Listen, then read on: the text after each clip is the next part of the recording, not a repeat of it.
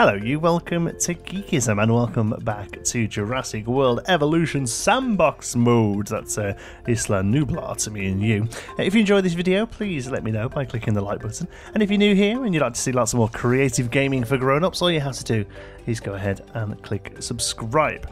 So, uh, in our sandbox mode, we are working on um, just like a well-rounded park. Really, we're not doing a Jurassic World remake or anything like that. Just kind of building a nice-looking park as best we can. So, we've got some smaller part, uh, smaller pens as we come in with some of the smaller herbivores.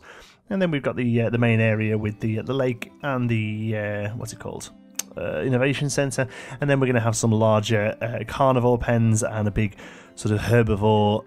Um, what's the word safari kind of thing with the gyrospheres as soon as they're unlocked i'm playing this alongside the single player so i'm having to go into the career mode and lock a little bit and then come back over here so for everyone who keeps asking where sandbox is you're just going to have to let me, you know, crack on with the career mode as well. But check those videos out. We still play those with a, uh, a sort of level of creativity in mind as we build.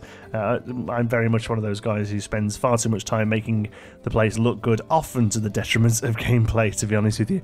Uh, so today, what we're working on, uh, mostly a hotel area for guests who are staying in the park, and we also do a few other little bits and bobs, a couple more pens for herbivores, and a uh, sort of security area, and also we place um, the Hammond Creation Centre where it's going to be. Because at the moment we've just got one dumped across the other side of the park just for mm, creating the dinosaurs we want, uh, but we're actually going to place it in uh, in the right place. So we're going to have three hotels. Um, the hotels themselves, I'd love a couple of different skins for these. They'd be really good, but uh, this is all the same skin. So what I've done is try to um, tier the ground down just a little so that these have a bit of a um, uh, a bit of a varied skyline basically. So uh, by by rotating them and uh, placing them at different heights just gives you a bit of a, a, change of scenery as they come down. But I definitely wanted more than one because I wanted to build a sort of little uh, village almost little sort of open plaza area.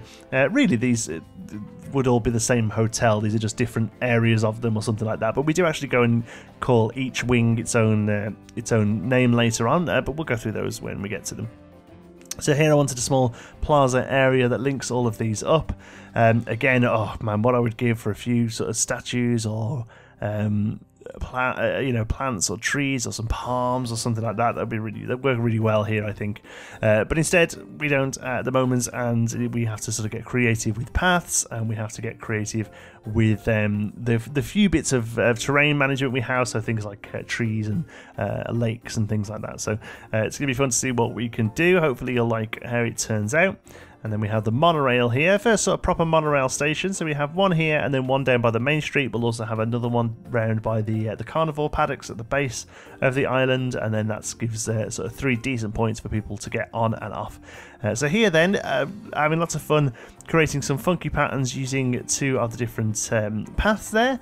It just kind of breaks it up a little bit, makes it a little bit varied, and uh, looks pretty good, I think, personally and then we have to get some power to it. Somebody has very um, uh, nicely pointed out in the comments of, I think, episode two. Oh, oh I was going to say hashtag spooky door, but that wasn't very spooky, was it, that one?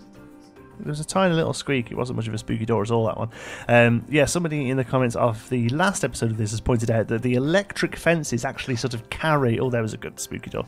Uh, sort of carry the electricity. So uh, if you use electric fences through the park, you don't have to have as many of these pylons, uh, which I think is a great idea. And uh, unfortunately, the, the, footage was recorded by the time I saw that. Uh, so I've got to go back. But in the next episode, we'll probably look at. Um, uh, changing that up a little bit and using some more electrified fences to move Oh, there was a good hashtag spooky door.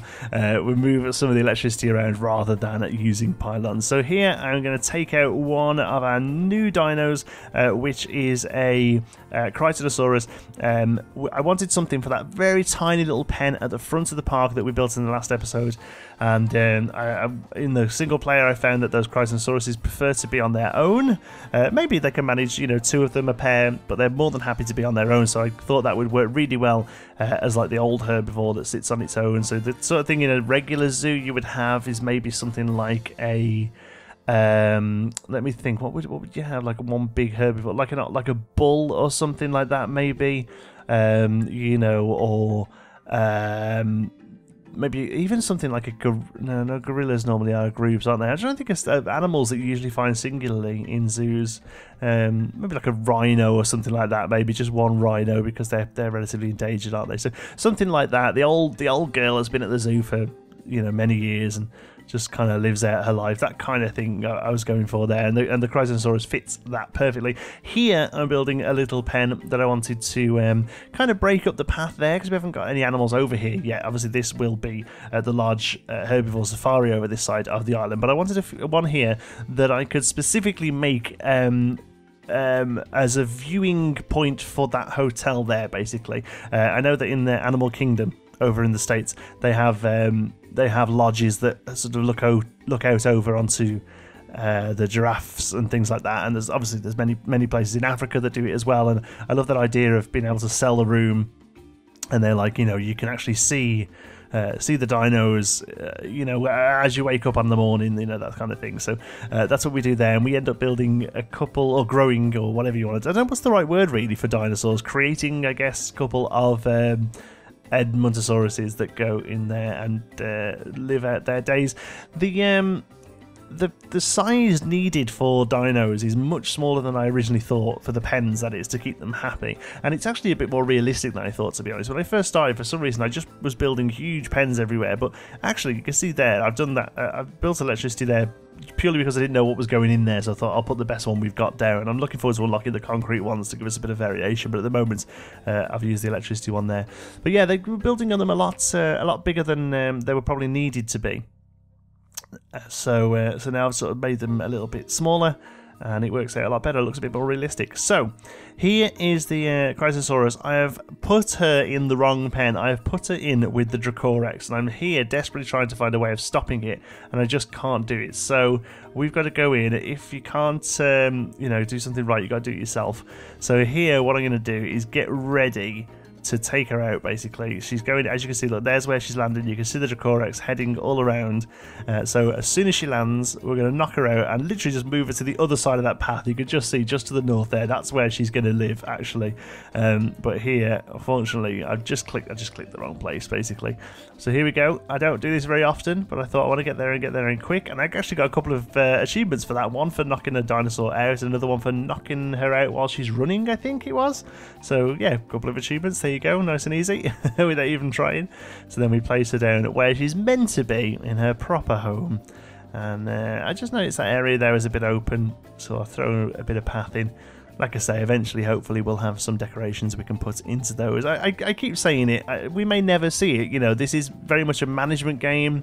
Uh, not so much about necessarily making pretty parks, it's more about making them run well and dealing with uh, natural disasters and, and, dinosaurs getting out and stuff like that. I do understand that, um, but you know, from the makers of Frontier and uh, from the makers of Planet Coaster, and also to an extent Elite Dangerous, you know, there's a bit of customization in that as well. I would love to see uh, just a little bit of customization, just to really kind of flesh out your parks a little. Uh, here we go, then, our two Edmontosauruses. So we're going to drop these out and move them over to their new home up by their hotels. And then we're going to move this Hammond Creation Lab to where it's going to be, which is going to be part of a, um, a sort of backstage security area uh, down uh, by the uh, the front of the front of the park there, with the where the uh, the, the, main street is there and where the ACU is. Okay, so this area here, uh, we're going to basically fill out as, like I say, a little bit of a backstage security area where they come and uh, where, but one where new dinos are created, but then also where the um, uh, you know security teams are based. Um, uh, most of it's just law, you know. It's the actual security teams of uh, the ACU, I suppose but they have these security buildings like we have the Innovation Centre for Entertainment and there's a science one as well. There's a security one, uh, so I'm going to place that down here as well. It kind of fits, it's like a big bunker and it ties in quite nicely with the um, uh, with the idea of this sort of being like the security base right in the middle of the park. It can reach everywhere pretty quickly, uh, and also it really has a, some original Jurassic Park vibes to it as well. It looks it looks very much a bit like the uh, the original sort of Jurassic Park feel, which is pretty cool. Uh, talking of the movies, I went to see Jurassic World uh, Fallen Kingdom the other day. Uh, it wasn't the sort of thing I would normally have gone and seen at the pictures, to be honest with you, but um, I, I went with work, so I was paid to go and watch it. So it's probably made me feel a little bit better about it than uh, than I would have done if I was uh, just going on my own. But you know what? It wasn't actually that bad. It was a bit of a popcorn chugger, you know, a bit of a sort of popcorn flick. Um, I didn't. I felt it was fine pretty much forgot everything about it as soon as I walked out the cinema. Is that you know that kind of moving? Uh, but overall, it wasn't too bad. One thing I did quite like, actually, I'm not going to give any spoilers here, by the way, if you haven't seen it. But one thing I did quite like is there was a couple of nods to the original movie, not just Jurassic World, uh, right back to the original Jurassic Park, um, that I actually thought was really quite nice, actually, and and it made me it made the film a little bit more. Um, oh, what's the word? Like it had a bit more uh, gravitas to it, I guess. Maybe that's probably not the best word for, for what I'm trying to think of, but it definitely felt a little bit more solid and a little bit more sort of rooted uh, in the in the Jurassic Park world. More so, probably, than I actually felt that Jurassic Park two and three did, because I wasn't particularly fan of those, to be honest with you.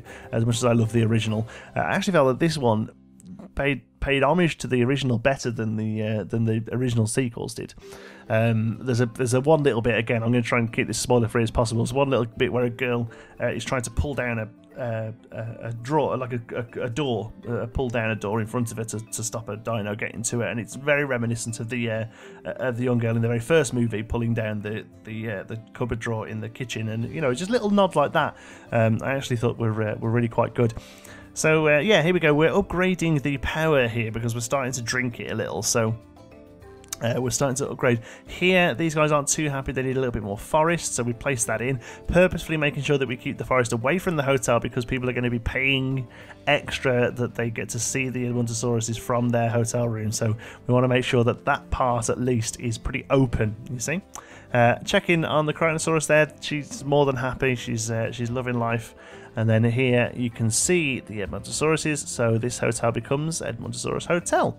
Uh, Edmontosaurus View, I think I call it. And then this one here is uh, Island's Edge Plaza, because it's right on the edge of the uh, the land there. And this one becomes the heart of science because it's right by the uh, the science department there. So uh, the, you know all the sort of typically ish names I feel. Uh, and there we go. So we've got time for the next episode. Hopefully we'll have unlocked a few more dinos and the gyrospheres, and we can start working on our herbivore safari. Thank you so much for watching. I hope you've enjoyed it. If you have, you can give us a like. It really helps out the channel. And if you're not already, don't forget to subscribe. Any thoughts, queries, or suggestions, you can pop them down in the comments. And if you fancy a chat, you can find me on Twitter. I'm at John T. Sparrow. If you'd like to join in with the and community, you can do so over on our Discord server. You'll find the link for that in the description. Thank you very much for watching. I'll see you in the next one.